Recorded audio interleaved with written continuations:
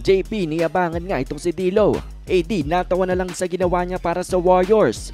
Ang series nga na inapangan ng lahat, Lakers at Warriors, round 2 matchup. Matinting bakbakan ito mga idol, kaya't umpisa natin agad sa ating first quarter. Kung saan ang Warriors magandang umpisa sa laban, 10 points agad. At itong si Clay may 5 points nga dyan, samantalang ang Lakers hindi makashoot at 2 points lamang na galing kay Lebron James. Pero buti na lang para nga dito sa Los Angeles, si Anthony Davis tumulong agad ng 6 straight points niya at 3-pointer ni Dilo after the timeout. Dumikit sila 13 to 17 with 5 minutes left. And eventually, dahil nga sa pagkayod ng Lakers sa opensa, ay nakadikit nga sila at natayang laban to 23 points sa pangunguna ni AD pero nang dahil nga sa 8 straight points ni Stephen Curry at the end, lamang ang Golden State 31 to 29. Kirby and Clay tig 10 points, AD 14 points, Lebron 4 points and 4 assists naman. Second quarter naman natin, Lakers nakatikim na nga ng lamang after ng 4 straight points ni Schroeder, nakastill pa kay Stephen Curry.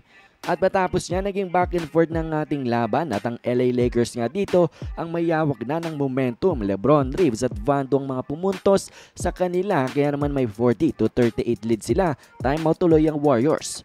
Pero umangat muli ang Warriors mga idol after ng 3 straight 3-pointers nila Michael Green at Klay Thompson ang gumawa dyan kaso sumagot si Lebron at Dilo dyan. Ang Lakers may lamang muli 48 to 44 with 4 minutes left. At dyan na nga nauwi sa magandang laban mga idol itong last minutes natin. Warriors shooting versus Lakers drives in the paint and free throws. Itong si JP ay nag-init na nga rin dito at apat na 3-pointers ang binigay para nga sa team ng Warriors. Niyabangan pa nga itong si D'Angelo Russell.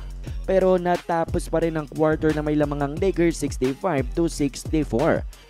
Nanguna nga si AD with 23 points already, 11 rebounds, Roder 13 points, Lebron 12 points, Klay Thompson 18 points, Poole 13 points.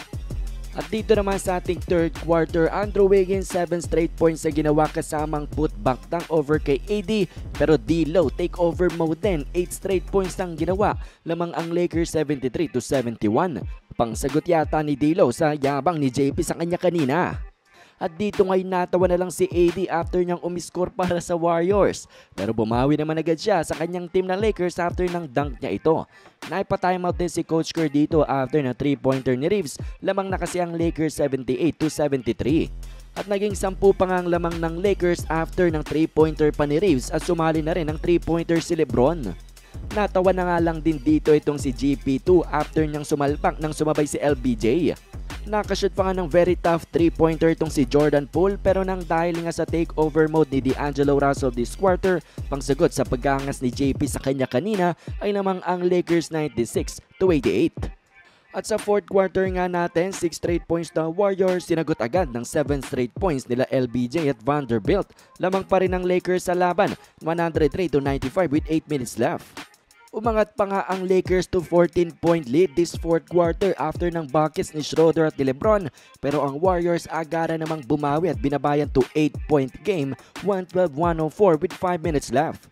Stephen Curry sumubok pang ibaba ang lamang ng Lakers pero nasupalpal nga siya ni Lebron. Pero hindi na nga napigilan ng Lakers team. Itong ang Warriors na ibabayan sa 3-point game 112-109 and then naging tied to 112 after ng 3-pointer ni Steph Curry. Pero matapos niya na hindi na nga umiscore itong team ng Warriors at clutch baskets and free throws from the Lakers nagpanalo nga sa kanila 117-112. AD Monster game meron ngang 30 points and 23 rebounds, 5 assists and 4 blocks. Lebron 22 points, 11 rebounds. Dilo at Schroeder tig 19 points naman at para sa Warriors, Steph 27, Clay 25.